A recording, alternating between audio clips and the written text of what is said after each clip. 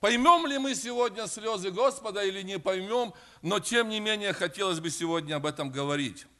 Итак, Евангелие от Луки, 19 глава, 41 стиха, ниже несколько, несколько стихов. «И когда приблизился к городу, то, смотря на него, заплакал о нем. Если, и сказал, если бы и ты, хотя всей твой день узнал, что служит к миру твоему, но это сокрыто от глаз твоих. Ибо придут на тебя дни, когда враги твои обложат тебя окопами и окружат тебя, и стеснят тебя отовсюду, и разорят тебя, и побьют детей твоих в тебе, и не оставят в тебе камня на камне за то, что ты не узнал времени посещения твоего. Братья и сестры, слова эти принадлежат самому Господу. Если мы понимаем, что пророки говорили, слово сбывалось, тем более, когда сам Бог сказал эти слова и сказал со слезами. Я часто думал, почему тот, которому повинуется вся вселенная, не смог открыть глаза народу этому. Почему он сказал, что это удержано сегодня, это сокрыто сегодня от твоих глаз? Где причина, в ком она? И поймите, причина не в Господе. Если мы будем сегодня честны и откровенны перед своей совестью, то причина в нас. Господь сотворил человека со свободной волей. И своей волей Он не давит на нашу волю. Он дает возможность, чтобы мы осознанно поняли, правильно поняли и добровольно могли бы принять или не принять Его волю. Это наше право. Причина в том, что народ не хранил Его Слово, как братам было сказано. Храм был в запустении, народ не помнил это. И в этом вся причина. И потому они пропустили это время. Мы сегодня с вами живем уже две тысячи лет спустя тех событий. И если мы сегодня не храним Его Слово, и оно не пребывает в нас и не живет в нас, пропустим самое ценное, дорогое. И останемся в числе неразумных, о которых Христос сказал прежде о десяти девах. Я хочу сегодня вместе с вами поделиться о четырех состояниях нашего сердца. Мы часто думаем, что раз мы верующие, идем за Господом, то все у нас прекрасно. Мы молимся каждый день, мы поем здесь на служении, мы поклоняемся, приносим Его жертву, но иной раз не замечаем слез нашего Господа. Хотелось бы, чтобы мы увидели. Когда мы проходим мимо человека, который плачет, и мы не знаем причины, наверное, мы не пройдем мимо равнодушно. Мы подойдем и спросим, слушай, что ты плачешь? Могу ли я помочь чем-то? Наше сердце неравнодушно. Но никто Господу не задал этот вопрос, когда он ехал на осленке. Хотя бы подошел любимый ученик и спросил, Господи, что ты плачешь? Никто не понял этого. Никто, к сожалению. А он плакал. Я знаю, что, по крайней мере, знаю три события, когда Господь плакал.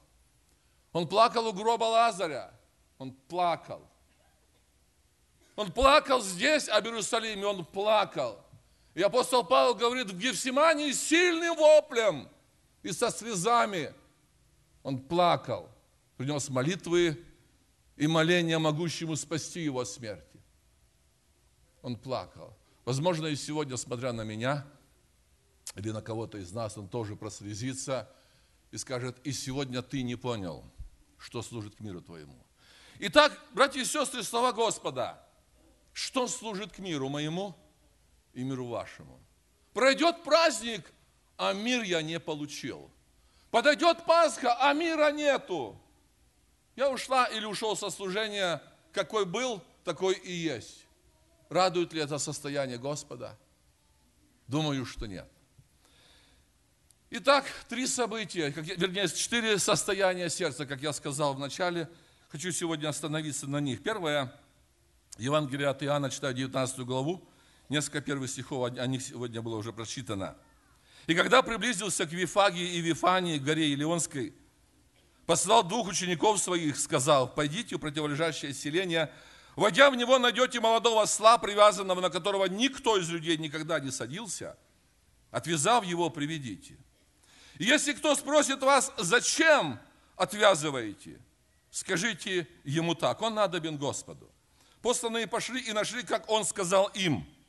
Когда же они отвязывали молодого осла, хозяева его сказали им, зачем отвязываете осленка? Они отвечали, он надобен Господу. И привели его к Иисусу, накинув одежды свои на осленка, посадили на него Иисуса. И когда он ехал, постилали одежды свои по дороге. А когда он приблизился к пуску с горы Елеонской, все множество учеников начало в радости велигласно славить Бога за все чудеса, какие видели они. Говоря, благословен царь, грядущий во имя Господне, мир на небесах и слава вышних. А некоторые фарисеи среди народа сказали ему, учитель, запрети ученикам твоим. Но он сказал им в ответ, сказываю вам, что если они умолкнут, камни возопьют. Братья и сестры, слава Господу! Первое состояние, когда мы идем с горы. Когда в нашей жизни все прекрасно. На работе прекрасно, хорошо, нам дали повышение, зарплата, зарплата хорошая. Дома прекрасно, дети не больные, все прекрасно, все устроено материально, в церкви прекрасно, понимают. И все у меня очень хорошо. Я иду за Господом, славлю Его имя, я Его поклоняюсь. Это путь с горы. Это состояние, когда я славлю Его. Когда я радуюсь Ему. Но когда я до конца не понимаю это все. Господь почему-то, как я сказал вначале, заплакал. Ученики славят во весь голос. Народ славит во весь голос. Идут за ним, идут с ним. Он на сленке, одежды посланы, ветви посланы по дороге. Его так никогда не встречал Иерусалим. Его так больше никогда не встретит Иерусалим. А он идет. Едет, простите, едет на сленке и плачет. Состояние, когда мы с Господом, и у нас все хорошо. Это одно состояние. Но заметьте, как я сказал, почему же все-таки ученики до конца не поняли, почему до конца не славили, как должно. Евангелист Иоанн об этом немножко говорит, 12 глава. Иисус же, найдя молодого осла, сел на него, как написано. «Не бойся, черь Сионова, се царь твой грядет, сидя на молодом осле». Ученики его сперва не поняли этого – но, когда прославился Иисус, тогда вспомнили, что так было о нем написано, и это сделали ему. Слышите? Ученики не поняли происходящего. Как так? Они три с половиной года с ним. Они идут за ним. Они говорят, что ты сын Бога живого, исповедуют. Но не понимают происходящего.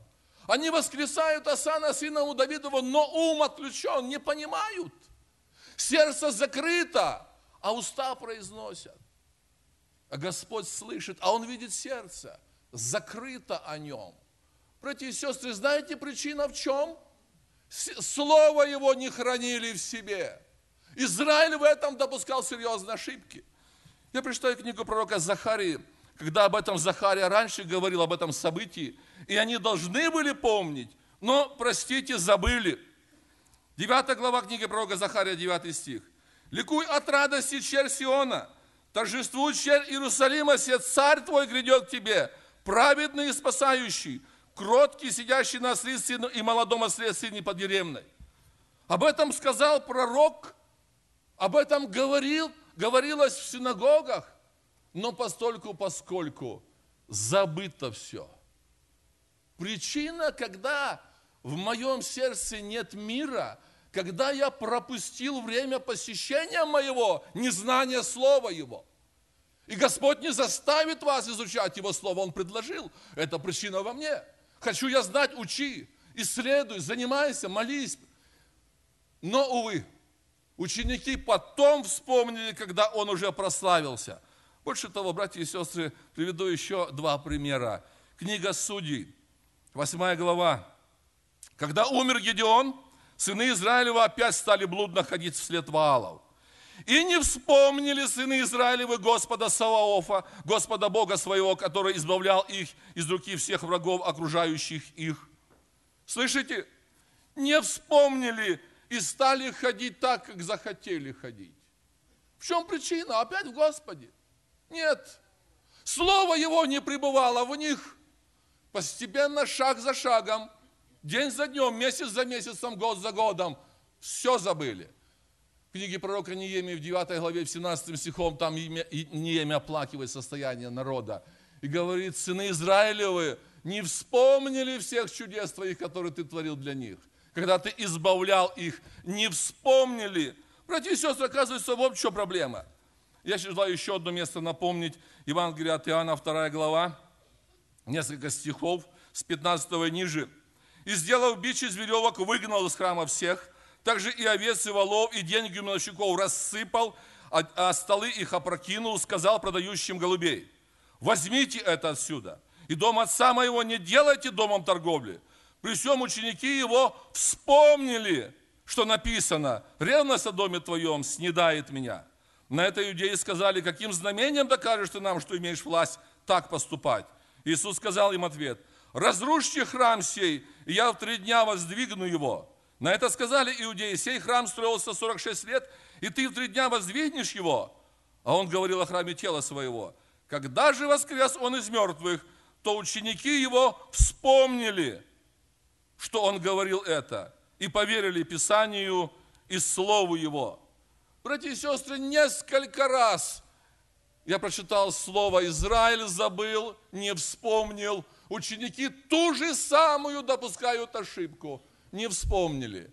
Если я не помню, если вы не помните, в ком причина, скажите, пожалуйста. Скажите, дорогие, в чем причина? Я забыл сегодня почитать Слово Божие. А ты все остальное не забыл? Да нет, не забыл. Нет нужды мне в этом, потому я не читаю его. Потому и не помнишь, потому и не знаешь, потому и пропускаешь время посещения твоего. Вот почему Израиль пропустил. Вот почему ученики неосознанно славили Господа. Они не поняли вначале ничего, а потом вспомнили. А также в нем было написано раньше. Захария же писал, забыто всеми. Братья и сестры, Израиль забыл, а потому в храме сегодня торговля, потому сегодня в храме состояние, которое не устраивает Господа. Итак, дорогие мои, первое состояние, когда мы с вами идем с горы – Идем за нашим Господом, идем с Ним, славим Его, ликуем Его, правда, неосознанно. Но Господу приятно хотя бы, чтобы мы хоть это делали. Может быть, потом мы вспомним и поймем, что мы неправильно служили Ему и неправильно славили Его и поклонялись Ему. Второе состояние – это когда мы идем уже в противоположном направлении. Читаю Евангелие от Матфея, 26 глава, несколько стихов – 29. Предисловие скажу несколько слов. Христос знал, что подошел час его. Он совершает в горнице с учениками вечерю, преломляет хлеб, благословляет вино, раздает ученикам. До этого он сказал, что один из вас предаст меня. Ученики опечалились, друг на друга смотрят, озираясь, но он совершил все это. И слушайте последние его слова, что он сказал им – Сказываю вам, что отныне не буду пить от плода сего виноградного до того дня, когда буду пить с вами новое вино в царстве Отца моего. И воспев, пошли на гору Елеонскую. Буквально три дня они шли с горы Елеонской, и они славили его во весь голос. Сейчас у них другая дорога, они идут на гору Елеонскую. Братья и сестры, идти с горы и идти на гору не одно и то же – когда в нашей жизни проблемы, трудности, кому только мы не звоним, сколько только, может быть, мы не молимся. Мы жить с Господом, идем за Ним, понимаем Его волю. Они не сами пошли, Он их позвал на гору Елеонскую. Он предложил им пение, идти на гору и петь. Знаете, нелегко это все. Я в жизни своей когда-то, помня это событие, шел на гору, там еще живя в Союзе, и пробовал петь трудно очень. Один-два куплета спел и дальше уже не мог. Да, подъем, гора, нелегко. Братья и сестры, но когда мы с вами понимаем одно, что пение дает нам силы, пение дает нам энергию. Приведу один пример, может быть, сестры не совсем меня поймут, а братья, думаю, поймут. Почему я так говорю, когда-то помню по боевой тревоге, еще служа в армии, нас подняли в 2 часа ночи, мороз 30 градусов на улице, полное обмундирование, и мы в тайгу брошены. И все отмерзло, руки, ноги, ничего не чувствуешь. И офицер сзади говорит, рота, запивай. Какое петь, когда уже все замерзло? Запивай три раза, сказал. И солдаты запели, согрелись. В пении в мороз согрелись. Знаете, попробуйте, когда вам очень трудно, попробуйте петь, это дает вам силы. Ученики запели, когда шли на гору. Господь знал, что Он идет на самое великое дело на земле. Он знал, что подошел этот час. Он знал, что они там заснут. Он все это знал.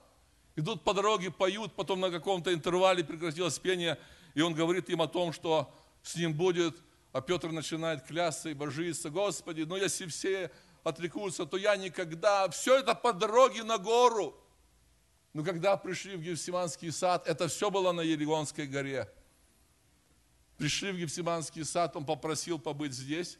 Некоторым взял с собой троих, отошел. И затем от них немножко от, отлучился небольшое расстояние, пал на лицо свое и молился. Братья и сестры, все спят, все до единого. Он их три раза будил. Что их утомило? Скажите, пожалуйста, что их усыпило? Почему они забыли Слово Господа? Поражу пастора, рассеются овцы стада. Не помнили Слово Его, не изучали, не пребывало Слово Его в них, а потому забыли, а потому спят. Закончится это все тем, что придет Иуда. Христос их разбудит, возьмет их с собой.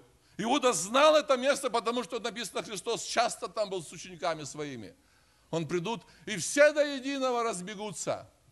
Братья и сестры, дорога на гору, это дорога тяжелая. Здесь нужна особая сила у Господа. От Господа получать ее, молиться, пребывать, просить помощи, чтобы церковь молилась, поддерживала. Но, увы, никто не просил. Они подумали, что они пройдут. В нашей жизни подобные ситуации, когда мы идем с горы, когда мы идем на гору. Братья и сестры, бывает и, другие, бывает и другое состояние. Тоже написано в Евангелии тоже написано, связано с Елеонской горой. Знаете, я часто, когда готовился к этой мысли, думал, почему Господь избрал Елеонскую гору своим местом, где Он часто проводил с учениками время, где Он часто молился своему Отцу. Почему это место Ему понравилось? Может быть, что-то мы извлечем из этого? Иерусалим его не принимал. И он шел туда, где мог уединиться, на этой горе. Он часто, очень часто там был. Если мы не поймем сегодня гору Юлионскую, не поймем слезы Господа, не поймем, что Он шел из горы и на гору именно там, то наша жизнь тоже будет такой же серенькой, как она была до этого. Когда мы поймем и пройдем этот путь, мы поймем, что на самом деле в жизни нашей воля Его, чтобы мы, если иногда идем с горы, то могли бы подниматься и на гору. И могли бы понимать, что на этой воле Его. Третье состояние, когда Господь сказал, что Он идет к Отцу Своему – Евангелие от Иоанна, я желаю прочесть из 16 главы несколько стихов, с 5 стиха. «А теперь иду к пославшему меня, и никто из вас не спрашивает меня, куда идешь. Но от того, что сказал я вам это, печалью исполнилось сердце ваше. Но я истину говорю вам, лучше для вас, чтобы я пошел. Ибо если я пойду, если, если я не пойду, утешитель не придет к вам, а если пойду, то пошлю его к вам». Христос накануне всего этого сказал ученикам вот эти слова. Знал, что он все совершил на земле. Знал, что ему пришло время уходить к Отцу. И он говорит ученикам своим. Братья и сестры, когда нам самые дорогие и близкие говорят, что мы уезжаем в другой штат, другой город, или вообще другую страну, они для нас дороги, мы с ними много времени провели, знаете, нам, наверное, не, неприятно и мы говорим, ну, может быть, пересмотрите свои планы. Да нет, нам надо. И на самом деле мы какую-то печаль переживаем. Переживаем ее на самом деле. Ученики пережили вот это состояние. Христос говорит, я иду к Отцу моему. И об этом мы читаем в Евангелии от Луки в 24 главе, когда он возносился с горы Елеонской. Он туда возьмет своих учеников, он приведет их туда, несколько слов скажет им – и потом отдалиться от них. Читаю последнюю 24 главу 48 стиха. Вы же свидетели всему, и я пошлю обетование Отца моего на вас. Вы же оставайтесь в городе Иерусалиме, доколе не облечетесь силою свыше. И вывел их вон из города до Вифании. И, подняв руки свои, благословил их. И когда благословлял их, стал отдаляться от них и возноситься на небо. Они поклонились ему и возвратились в Иерусалим с великой радостью. Евангелист Лука в, Еван... Деянии апостолов ту же самую историю описывает немножко в другим, в другими словами. С 10 стиха прочитаю, с первой главы. «И когда они смотрели на небо во время восхождения его, вдруг предстали им два мужа в белой одежде. И сказали, мужи галилейские, что вы стоите и смотрите на небо? Все Иисус, вознесшийся от вас на небо, придет таким же образом, как вы видели его восходящим на небо. Тогда они возвратились в Иерусалим с горы, называемой Елеон. Опять та же гора, опять тот же Господь, те же ученики, но другое состояние. Если они там шли на гору, с ними был Господь. Если они там уснули, то Он их будил, Он охранял их покой, Он беспокоился о них. То сегодня другой час. Он оставляет их на земле. Несколько слов говорит завещание – и он сказал, что мне пришел час вознестись к Отцу моему. Состояние печальное. Братья и сестры, как бы мы ни смотрели бы, ну печальное состояние учеников. И сказал это, написано, поднялся в глазах их, благословляя их. Руки Господа простерты над учениками, над этой горой он все выше и выше, и выше, пока облако в облаках не скрылся, написано, облако взяло его из вида их. И они так по-прежнему смотрят на небо, но его уже не видят. Что мы делаем тогда, когда из зора нашего Христос исчезает? Братья и сестры, наше состояние с вами. Нам хорошо кричать Асана, сыну Давидову, нам хорошо быть с ним, но сейчас он ушел. Что делать? Помните, когда-то Бог оставил Езекию на короткое время, на короткое время, чтобы испытать, что в его сердце. Послы пришли с Вавилона, и он там начал им рассказывать, какой он хороший, какой он умный, какой он способный. Все показал, все, что ценно было в его глазах. Им. Господь на мгновение оставил и как плоть взяла вверх. Ну хорошо, что ученики смотрели на небо. Смотрели, продолжали стоять. И ангелы явились. Два ангела, которые сказали, мужи галилейские, что вы стоите и смотрите? Братья и сестры, я не знаю, это те были ангелы, которые у гроба сидели тогда – когда он воскрес, не знаю. Но это были те ангелы, которые посланы были, чтобы успокоить учеников, чтобы сказать им нечто, чтобы они от этой печали уже возвратились в Иерусалим с радостью великою, чтобы они остались в Иерусалиме и уже не рассеивались, чтобы они пребывали и ждали обещанного от Отца. Это опять же забота Господа. Если Он оставил их, если Он пошел на небо к Отцу, то Он сказал, я не оставлю вас. В лице ангелов Он беседовал с ними. И они на самом деле были утешены. Состояние, когда на самом деле мы переживаем печаль, молимся, просим, а Господь исчел из нашего вида. Но Он посылает через Слово свое, свое утешение. Пребывайте в Слове Его, и тогда у вас печаль уйдет вся. И четвертое состояние, может быть, последнее состояние, тоже связано с горой Илионской, когда наш Господь Иисус Христос вновь придет, вновь придет на эту землю, чтобы взять церковь свою, чтобы Израиль, избавить народ свой израильский, хотя тот не принял его, хотя тот не узнал времени посещения его, но вместе с тем Господь остается верен своему слову и благ своему народу. Время ожидания или состояние ожидания состояние ожидания церкви, состояние ожидания меня, состояние ожидания ваше. Книга пророка Захария, 14 глава. «Вот наступает день Господень и разделит награбленное у тебя среди тебя, и соберу все народы на войну против Иерусалима, и взят будет город, и разру, разру, разграблены будут домы, и обесчещены будут жен, жены, и половина города пойдет в плен – но остальной народ не будет истреблен из города. Тогда выступит Господь и ополчится против этих народов, как ополчится в день брани, и станут ноги его в тот день на горе Елеонской, которая перед Иерусалимом к востоку. Место, которое избрал Господь, чтобы говорить со своим народом, опять остается тем же самым местом. Гора Елеонская, туда придет Господь. Братья и сестры, часто мы смотрим на эту гору в нашей жизни. Часто ли мы ходим по этой горе? Часто ли мы ходим вниз или на подъем? Часто ли мы слышим Его Слово, которое Он там говорил ученикам своим, или там же их будил?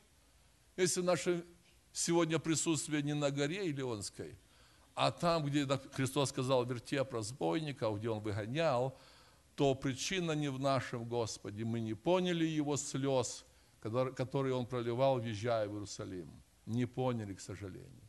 Пусть Господь поможет нам сегодня понять, если мы идем с горы, то радуйтесь, что ваша сегодня, ваша сегодня дорога с Ним, и вам сегодня легко.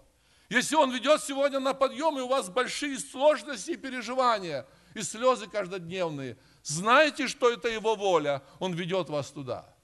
Если вы сегодня не видите Его, потому что слишком высоко ваше горе, Он исчез из вашего вида, знайте, что в Слове Его вы можете найти мир и покой.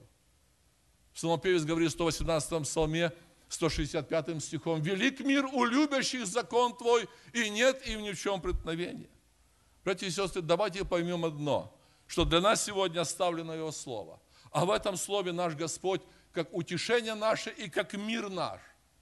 Пусть Он нам сегодня поможет на самом деле в ожидании Его пришествия знать и помнить, что скорби чрезмерные не будут, что ноги Его коснутся этой планеты, этой земли – Сказано это, я говорю образно сейчас, но на самом деле это так будет. Что Он сегодня с нами, что Он сегодня нас успокаивает. Если Он сегодня и скорбит, и плачет, то причина во мне или причина в тебе. Давайте эти причины с Его помощью искоренять. Давайте жить Его Словом, давайте дорожить Его Словом, чтобы не пропустить время посещения Его. Пусть за это Ему будет сегодня слава, что Он нас сегодня учил и вразумлял. И мы после всего этого давайте склоним наши колени, помолимся Его и поблагодарим Его. Аминь.